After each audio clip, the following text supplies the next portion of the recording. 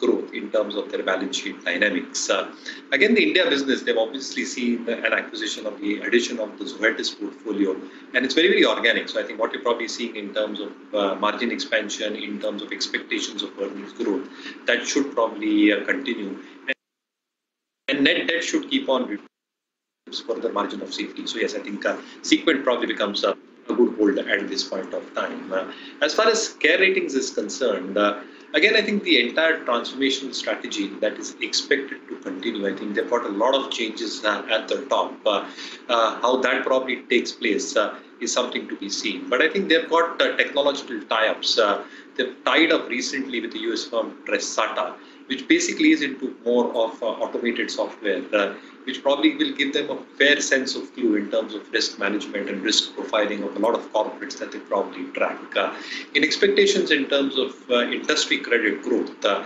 and end sector demand as well, the expectations that uh, the management probably have post their con call is that wholesale credit is expected to pick up gradually and that should have uh, greater uh, support in terms of more debt issuances coming up and bond markets are expected to remain stable as well. Uh, so I think uh, uh, weak debt markets have probably been a reason for these rating agency stocks to probably be showing a sideways move.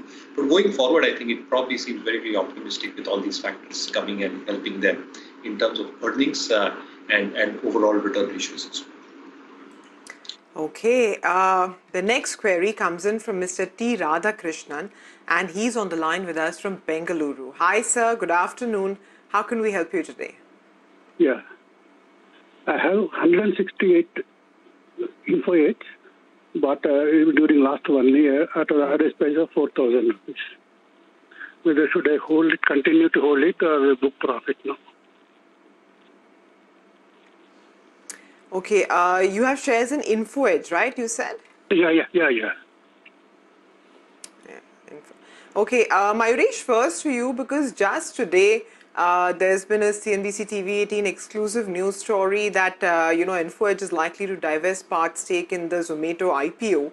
Uh, given that uh, things could be on the fast track here, what would you advise a retail investor to do?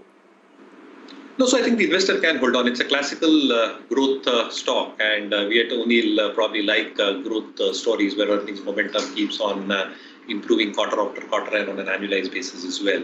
Having said that, I think when you're probably looking at the numbers, I think there were a few elements which are amiss in these numbers, but the management probably is looking very, very optimistic in terms of billings coming back to pre-COVID levels as far as its flagship uh, sector exposure of Naukri or the job portal is concerned. So the expectations because of the second wave is uh, that second half should show significant amount of traction and recovery and billings should come back to normalization levels which were a tad bit below pre-COVID levels as well. The second aspect, obviously, is the real estate arm, 99 acres, and that is also seeing some amount of uh, uh, viewings. And because of the convergence that you're now seeing specifically in the real estate sector per se, and the interest generated thereof, uh, I think that part of the business should also start uh, performing well. The optionality, as you rightly pointed out, Sumaira, comes in through the uh, Zomato IPO. Valuations, again, uh, as your news team was breaking the story as well. I think if those valuations sustain and whatever they can get out of that valuation as well. It adds to the cash pie. Along with the stakes they've also got in uh, uh, in, in uh, upcoming unicorns like Policybazaar. Uh, so yeah, I think there's a lot of optionality on the table for shareholders as well. So continue holding the stock. Uh, as per our methodology, I think the 50 DMA, I think is one level that you can probably look at, which is close to 4,700 odd levels, which can be monitored uh, as, as something where exit sites can be given. But I think Vaishali can give you a better picture Hi, welcome back. Here with your stocks. Our two experts are with us. And the next query comes in from M. Krishnan, who has written to us from Chennai. He says he has 2,000 shares of GAIL, which he has bought at uh, about almost 160 bucks, and now he wants to know if he should remain invested. What is the outlook? Uh, Mayuresh, do you have a take on GAIL? What should the investor do? Yeah, you can continue holding on. I think what is uh, probably happening is that cash uh, EBITDA margins uh, should slowly and steadily start inching higher.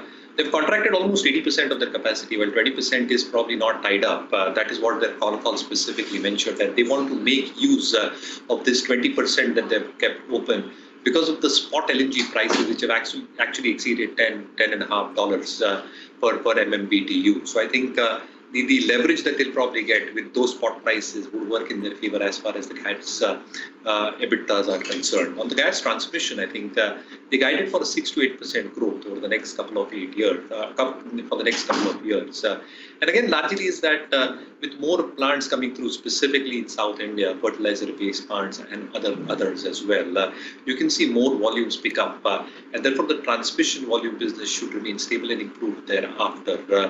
The petchem part of the business, uh, Sumaira, is a little bit disappointing in terms of volume guidance. Uh, around 810, 820 KT is what they're probably expecting, and there was a shutdown in their plant at Pata in uh, in this quarter. So I think uh, Q1 will probably see an impact because of the plant shutdown at their Pata plant. Uh, but overall contracted volumes because of the shutdown are going to be lower uh, year on year. Uh, uh, dividend yield is fantastic at three and a half odd percent, and therefore I think uh, if it's a medium-term investor, I think uh, there is still expectations of earnings growth coming through. But again, I think uh, earnings and price strength should both start coming through, and as they start coming through, the EPS rating and RS rating, as per our own methodology, should start catching up. But uh, that's the hope. But at this point of time, at least uh, you can hold on to the stock with the expectation that all these things work in their favor. Okay, uh, Mayuresh, uh, you know, earlier this week there was news that uh, the emergency credit guarantee scheme uh, would be expanded by one and a half lakh crores, something that would benefit a company like Bandhan Bank. Uh, you think there are enough triggers, uh, you know, for a retail investor to remain uh, invested in the stock, or do you think, like Vaishali said, that perhaps start exploring other opportunities? You definitely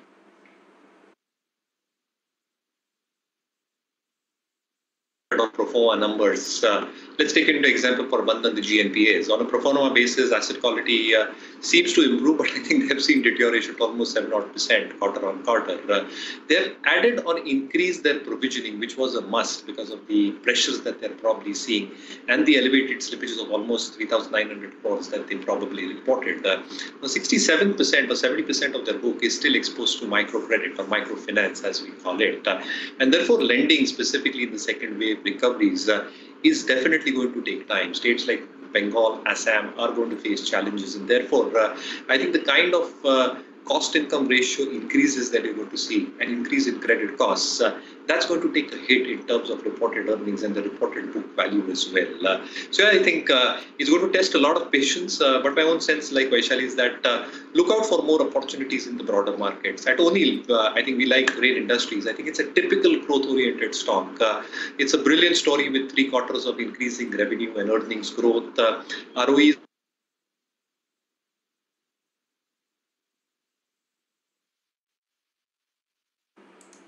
Okay, I think uh, that's an unstable connection uh, that Mayuresh has. But uh, Mr. Agarwal, I think basically you've got the gist of what our experts are recommended that you can hold it for now, but do start exploring other opportunity. Uh, the final query today comes in uh, from Krishna, who's a student.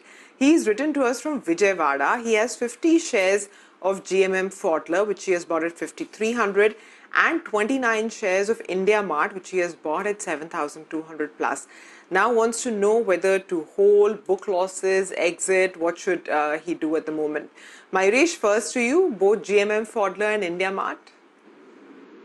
I think platform-based companies, right? Specifically companies like India Mart, uh, and they've seen a fabulous run-up. Though I think the uh, correction in the stock was very, very obvious over the last few months. Uh, but I think it's a very, very stable model as far as the B2B business is concerned. Uh, the expectations largely laid out is that top-line growth should be very, very stable, cash flows remain extremely strong, uh, and because of the model in place itself, I think return ratios should remain strong. Uh, so yeah, I think can get invested, but I think the RS rating has actually come up. So I think uh, hold on, but uh, you'll have to have a lot of patience in terms of the up move again. Uh, for GMM Pfaudler, unfortunately, Sumaira, we don't have coverage on that stock, so very difficult to comment.